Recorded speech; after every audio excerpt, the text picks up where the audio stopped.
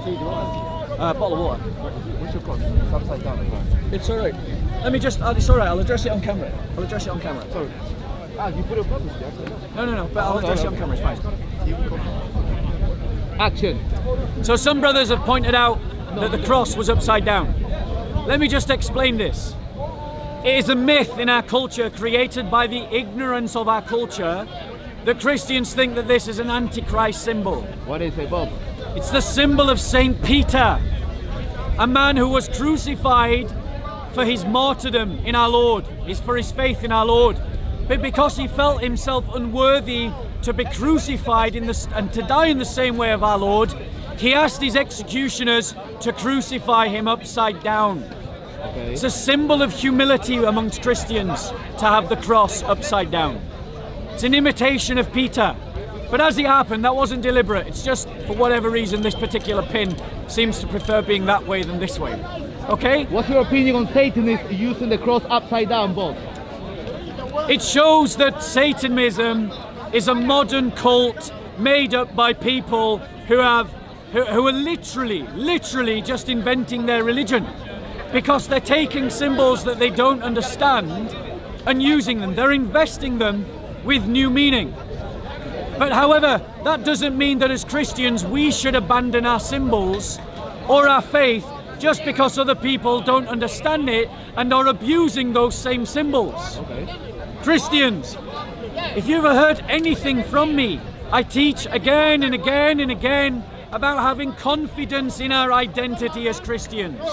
That means having confidence in our culture, not like those pretend female bishops in Sweden who cover the cross because they don't want to offend Muslims who are, they've invited into the church, or those pretend religious leaders in the north of England who cover the cross because they are ashamed of it, so that they don't offend Muslims who they've invited to break the fast in their church. Christians, there are Christians in China going to prison because they would rather go to prison than surrender the cross. Christians, wear your cross with pride in your workplaces. Wear your cross with pride on the streets. And if it offends, it offends. If you're discriminated against, you're discriminated against. If it upsets, it upsets. If you go to prison for it, then celebrate that you are being persecuted for the sake of the Lord. Bang. Don't be like the liberal, wet, weak kind of Anglican Christian who, for multicultural sake, would deny the vision of the cross Ooh, to. Muslims because they don't want it to offend them. Boo. I have two stories about this. Alright.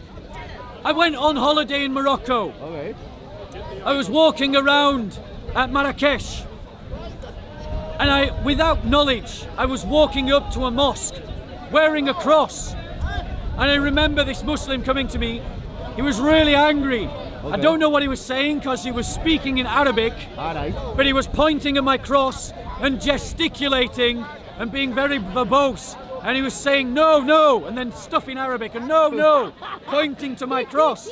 And I held it up to him and I said, it's beautiful, isn't it? The cross is beautiful, and we don't need to deny our identity for anyone. Right. I would rather lose my job than lose my identity. I would rather the peace and the concord of the land be lost than lose my identity. God. Jesus said, What does it profit a man if he gains the whole world but loses his soul? Did not say that. That's exactly what Jesus said. he just said it in Aramaic. So, moving on. The other story. The other story.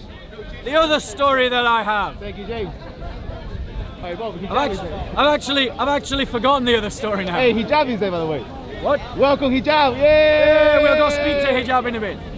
So Christians, don't be ashamed of your identity. Never. Don't be ashamed of your culture. Never. Wear your cross with pride. Right. Where's my cross? Wear your cross with pride. Please note Go away, go away. the very deliberate iconography here.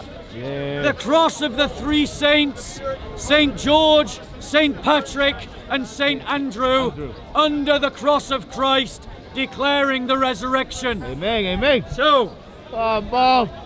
cut, and now we're going to do another talk. All right.